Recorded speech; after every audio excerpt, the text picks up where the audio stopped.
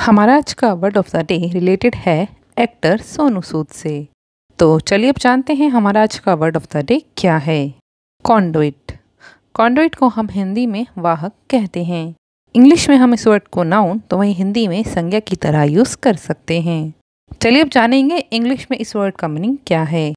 A way of connecting to people और organisations English meaning के बाद अब जानते हैं कॉन्डोइट के कुछ सनेम्स या फिर इससे ही मिलते जुलते कुछ और words bridge link connection branch channel synonyms जानने के बाद हम जानेंगे कॉन्डोइट के कुछ एंटेनिम्स या फिर इसके ऑपोजिट वर्ड्स स्टॉपर ऑब्स्ट्रक्शन और सबसे लास्ट में हम जानेंगे न्यूज़ के इस दिए गए सेंटेंस में हमारे आज के word of the day conduit का यूज़ किस तरह से किया गया है.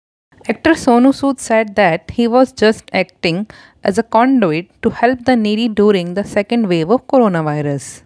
अभिनेता सोनू सूद ने कहा कि कोरोना वायरस की दूसरी लहर के दौरान वे सिर्फ़ ज़रूरतमंदों की मदद के लिए एक वाहक के रूप में काम कर रहे थे सो so फ्रेंड्स हमें कमेंट्स में बताना मत भूलिए कि आप बना सकते हैं कॉन्डोइट से एक सेंटेंस और इसी के साथ यूट्यूब पर हमारे हिंद खोश डिक्शनरी चैनल को भी सब्सक्राइब करना मत भूलिए